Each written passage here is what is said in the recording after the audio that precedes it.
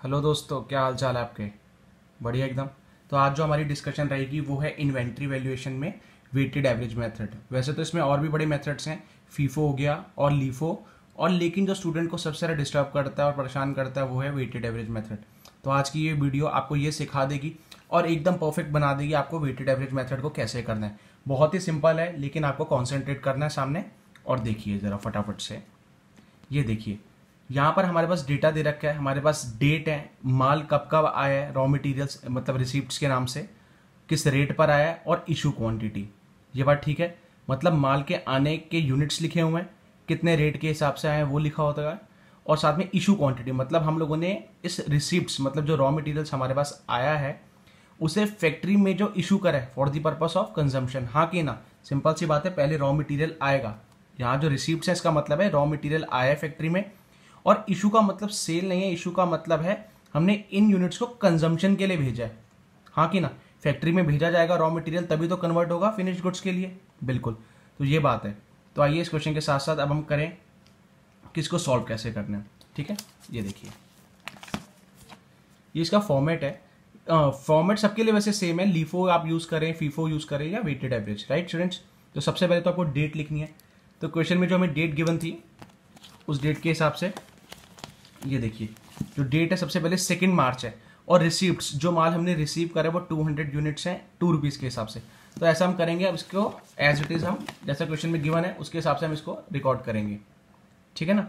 तो ये देखिए आप तो जो डेट है, वो डेट कितनी है? डेट थी सेकेंड मार्च तो सबसे पहले हम लिखेंगे सेकेंड मार्च डेट में। रिसिप्ट कितने यूनिट्स हम लोगों ने रिसीव करे थे? क्वांटिटी में लिखा हुआ है टू हंड्रेड यूनिट्स रेट भी गिवन है क्वेश्चन के अंदर रुपीज़ टू तो ऐसे हमारा अमाउंट आ गया फोर हंड्रेड हाँ कि ना? ये तो बहुत सिंपल है. रिसिप्ट में क्वांटिटी आई है हमारे पास टू हंड्रेड यूनिट्स की. At the rate of rupees two ऐसे करके टोटल अमाउंट हमारा हो गया फोर हंड्रेड इशू हमने सेकेंड मार्च को कुछ करा नहीं है तो इशू में नील और बैलेंस में देखना क्वांटिटी कितनी है? ऑब्वियसली सर इस समय तो 200 ही है हमारे पास क्वांटिटी 200 कितने के हिसाब से? टू के हिसाब से. And final amount will be 400 ठीक है ना? तो इसके नीचे आपको लाइन डाल देंगे। इसका मतलब ये दो तारीख का आपका बैलेंस क्लोज हो गया। ठीक है? उसके बाद हमें गिवन है कि हम लोगों ने टेंथ मार्च को, ये देखिए आप, टेंथ मार्च को और माल रिसीव करें। 300 यूनिट्स ये देखिए। टेंथ मार्च को 300 units at the rate of 2.40 यहीं बस अब आपने देखना है। वेटेड एवरेज यहीं पर अलग है। पहले मैं डेट लिखता हूँ, टेंथ मार्च। ठीक है?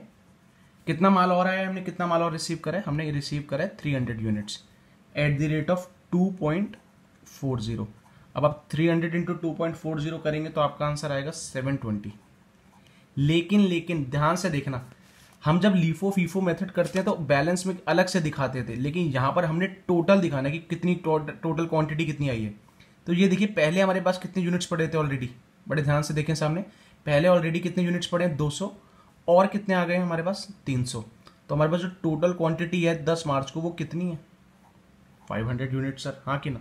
बड़े ध्यान से देखना वेटेड एवरेज करते हुए बैलेंस के अंदर हमें हमेशा अपनी टोटल क्वांटिटी को दिखाना है। तो टोटल क्वांटिटी कैसे आई है? सर 200 यूनिट जो पहले के पड़े हुए थे, यहाँ से जो आए थे सेकेंड मार्च को। साथ में 10 मार्च को और माल आ गए कितने यूनिट्स? 300 तो टोटल क्वांटिटी इज़ 500 यूनिट्स। और हमें, अब सर रेट किससे मल्टीप्लाई करेंगे? तो रेट के लिए हमें एक एवरेज प्राइस निकालना होता है। क्या निकालना होता है? एवरेज प्राइस यही सबसे इंपॉर्टेंट है।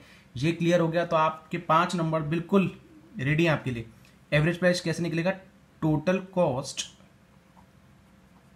total cost of material total cost of material upon total number of units total number of units ठीक है ना? अब एवरेज प्राइस निकालने मतलब एवरेज निकालनी है आपने। टोटल कॉस्ट कितनी हो गई जरा देखो।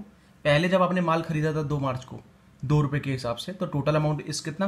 रुपीज़ फोर हंड्रेड प्लस अभी भी तो तीन सौ यूनिट्स और खरीदे उसकी भी तो कॉस्ट आई है, कितनी? सेवन ट्वेंटी तो टोटल कॉस्ट तो ऐसे निकलेगी सर फोर हंड्रेड पहले का अमाउंट सात सौ बीस अब और जो खरीदा है वो अपॉन टोटल यूनिट्स बता सकते हो ज़रा सामने देख के? हाँ जी, ये देखो क्वांटिटी पहले 200 यूनिट्स थी, और कितने यूनिट्स खरीदे हैं? 300 तो total number of units will be 500 ठीक है जी? समझ में आ रही है? बिल्कुल सर आ रही है। तो ऐसे करके हमारा एवरेज प्राइस जो निकल के आएगा, वो आएगा 2.24 इक्वल्स टू 2.24 ये हमारा एवरेज प्राइस आएगा। यही वेटेड एवरेज प्राइस कहलाएगा टू पॉइंट टू फोर तो अब जो क्वांटिटी में बैलेंस में जो प्राइस लिखने वाले हैं, वो five hundred into two point four four zero नहीं, या टू नहीं, हमें एवरेज प्राइस निकालना है, क्योंकि हमने पहले की क्वांटिटी कितनी थी? दो सौ, और आगे तीन सौ। तो पाँच सौ क्वांटिटी को हम उसके एवरेज प्राइस से मल्टीप्लाई करेंगे, जो कि आएगा कितना? Two point two four and your answer will be ग्यारह सौ बीस रुपये ग्यारह सौ बीस. ठीक है स्टूडेंट्स बस बस यही एक यही समस्या है. ये क्लियर तो सब कुछ क्लियर बड़े ध्यान से दोबारा मैं एक बार बता देता हूँ. एवरेज प्राइस आपको ज़रूर निकालना पड़ेगा वेटेड एवरेज में. तो क्या है? टोटल कॉस्ट ऑफ़ मटेरियल पहले का जितना का भी मटेरियल होगा, उसकी कॉस्ट मतलब उसका अमाउंट जैसे यहाँ पर 400 था. फिर आपने 10 मार्च को और माल खरीदा कितनी क्वांटिटी 300 यूनिट्स 2.40 के हिसाब से. तो अमाउंट कितना आ गया? अमाउंट आ गया आपका 720 तो ये चार सौ रुपये का जो कॉस्ट थी पहले, और जो 720 की कॉस्ट है, मिला के होगी टोटल कॉस्ट ये मैंने लिखा है इसे 400 प्लस 720 और टोटल यूनिट्स कितने? पहले की क्वांटिटी कितनी थी? 200 यूनिट्स और कितनी क्वांटिटी हमने परचेज करी है? 300 यूनिट्स तो ऐसे करके टोटल हमारे जो यूनिट्स हो गए, वो हो गए 500 तो ऐसे 1120 अपॉन 500 अगर हम करते हैं तो एवरेज प्राइस निकल के आता है 2.24 तो बैलेंस में जो हम क्वांटिटी लिखने वाले हैं, जो रेट लिखने वाले हैं, वो यही लिखेंगे average price two point two four जो है, हमारा एवरेज प्राइस निकल के आया इसका मतलब आज हमारे पास 10 मार्च को जो माल पड़ा है 500 यूनिट्स उसका एवरेज प्राइस है 2.24 और उसका अमाउंट कितना आ गया? 1120 राइट स्टूडेंट्स ठीक है? आसान है? अब देखो, अब अब आपको बहुत आसान लगेगा। नेक्स्ट था फिफ्टींथ मार्च। फिफ्टीन मार्च को क्या हुआ? फिफ्टीन मार्च को, सर, कुछ रिसीप्ट नहीं हुई है, माल नहीं आया। लेकिन सर इशू हुआ है। मतलब कंजम्पशन के लिए हमने माल को फैक्ट्री में भेजा है। कितने यूनिट्स हैं? क्वेश्चन में गिवन है? बिल्कुल गिवन है। देखो सर, ये देखो। ये रहा फिफ्टींथ मार्च की हम बात कर रहे हैं। तो फिफ्टींथ मार्च को हमने माल भेजा है कितने यूनिट्स 250 यूनिट्स राइट 250 यूनिट्स अब 250 यूनिट्स हम, हमारे पास कितने ऑलरेडी पड़े हैं? 500 पड़े हैं। जिसमें से इशू करेंगे कितने यूनिट्स 250 तो इशू में लिखेंगे क्वांटिटी में लिखेंगे कितने? 250 रेट हमेशा एवरेज प्राइस ही रहेगा। हाँ कि ना? एवरेज प्राइस कितना 2.24 जो कि अभी हमने कैलकुलेट करा था 2.24 ऐसे करके हमारा आंसर आ जाएगा 560 अमाउंट कितना आ जाएगा? 560 तो बैलेंस कितना बच गया? इस 500 जो हमारे पास बैलेंस पड़ा हुआ था, उसमें से इशू तो कितने हो गए? 250 यूनिट्स तो अभी भी कितने यूनिट्स बचे हुए हमारे पास? 250 है ना? 500 पड़ा था 250 इशू हो गए। तो बचे भी कितने बैलेंस में? 250 एवरेज प्राइस कितना ही है अभी भी? 2.24 तो ऐसा आपका आंसर आ जाएगा 560 ये आपका बैलेंस अमाउंट आएगा। इशू करने के बाद। ठीक है स्टूडेंट्स देखो कितना ईजी है। अब फिफ्टींथ मार्च के बाद देखते हैं दोबारा। एटीन मार्च को हमने फिर से कुछ रिसिप्ट करी है। माल और खरीदा कितने units 250 units at the rate of 2.60 250 units at the rate of 2.60 date है हमारी कितनी? एटीन मार्च एटीन मार्च को माल और खरीदा इसलिए रिसिप्ट में लिखा जाएगा। कितने यूनिट्स हैं? 250 क्वांटिटी में। रेट है उसका 2.60 तो आंसर आएगा आपका ये 650 अब फिर से वही बैलेंस में क्या दिखाओगे? ऊपर वाली बात ही बताओ जरा। हमारे पास ऑलरेडी माल कितना पड़ा हुआ था? बैलेंस में देखो 250 ये रहा। और कितना परचेज कर लिया? 250 तो टोटल क्वांटिटी तो हो गई हमारी कितनी?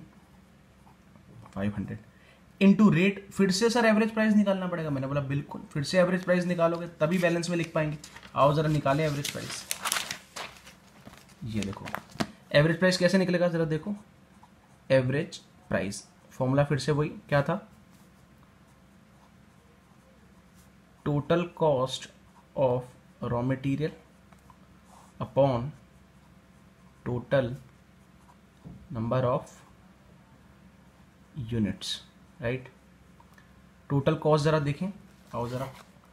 टोटल कॉस्ट देखो यहाँ पर। टोटल कॉस्ट जो आपकी है, वो कैसे आएगी? ये देखो, ये 560 का ऑलरेडी माल पड़ा था। अमाउंट में देखो।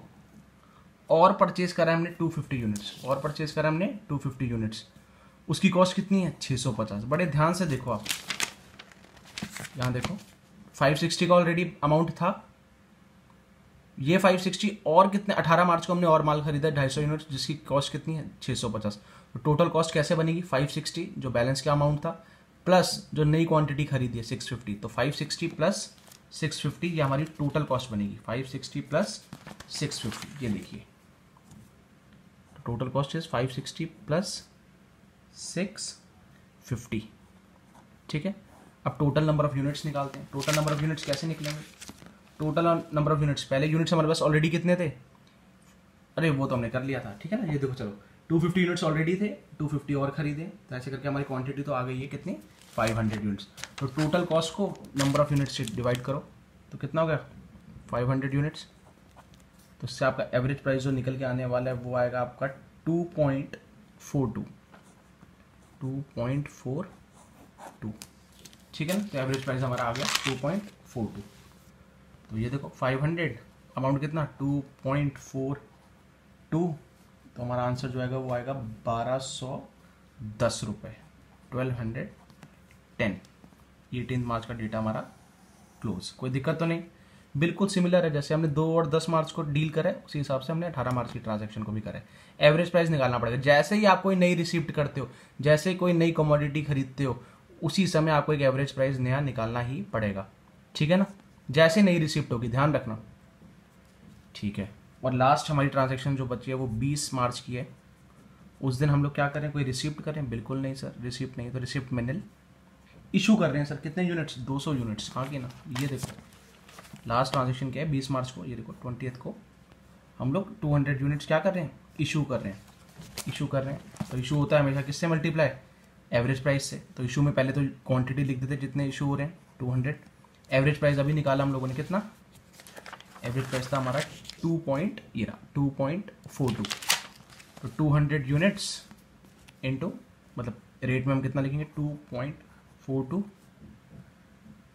and amount is four hundred and eighty four four hundred and eighty four अब इतने हमारे पास यूनिट्स पड़े थे, पाँच सौ, जिसमें से टू हंड्रेड यूनिट्स कंजम्पशन के लिए फैक्ट्री में भेज दिए गए माल बनने के लिए।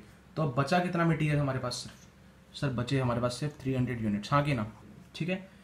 और मल्टीप्लाई किससे ही? बैलेंस ऑब्वियसली एवरेज प्राइस क्या क्या है हमारे पास? टू पॉइंट फोर टू तो three hundred into two point four two and your answer is seven hundred twenty seven hundred twenty right students तो बस, ये आपका वेटेड एवरेज था। बहुत इंपॉर्टेंट है एग्जामिनेशन पॉइंट ऑफ़ व्यू से। लीफो फीफो स्टूडेंट से फिर भी हो जाता है। स्टूडेंट कहते हैं, सर लीफो फीफो तो बहुत आसान है। वेटेड एवरेज में कंफ्यूजन होती है तो कोई कंफ्यूजन की बात है नहीं वैसे। आपको सिर्फ़ और सिर्फ़ एक बार जो कॉन्सेंट्रेट करना है, वो इसकी कैलकुलेशन में ही करना है, वो भी बड़ी सिंपल सी है, कोई दिक्कत नहीं है। एवरेज प्राइस निकाल लेंगे। जैसे ही कोई नई रिसिप्ट होगी, जैसे यहाँ पर एक बार दोबारा मैं बता देता हूँ, हम लोगों ने एक परचेज करी, उसका तो पहला ही प्राइस दो रुपये है तो उसके लिए उसका कोई एवरेज प्राइस नहीं है। और कमोडिटी ऐड होने के साथ ही हमें एक एवरेज प्राइस की ज़रूरत हो जाएगी। तो वही एवरेज प्राइस फिर हम लोग बैलेंस में भी लिखेंगे। और अगर कुछ इशू भी हो रहा है उसमें से तो वो भी एवरेज प्राइस से ही मल्टीप्लाई होगा। ठीक है भाई? फिर से कोई नई रिसिप्ट हो गई जैसे ढाई सौ रुपये की, फिर हमें एक नया एवरेज प्राइस निकालना पड़ा था टू पॉइंट फोर टू हाँ कि ना? उसी में से फिर इशू भी हो गया उसी प्राइस के हिसाब से और बैलेंस भी उसी रेट के हिसाब से जाएगा। ठीक है स्टूडेंट्स तो ये फाइव टू सिक्स मार्क्स का आपका टॉपिक है। नॉर्मली हमेशा ही पूछा जाता है। तो आप इसको ज़रूर एक बार नोट करें अच्छे से। क्वेश्चन को ज़रूर देखें। ठीक है स्टूडेंट्स तो ऑल दी वेरी बेस्ट आप लोग के बहुत काम आने वाले हैं। ध्यान से पढ़ें बस। ठीक है? चलिए all the very best students take care bye bye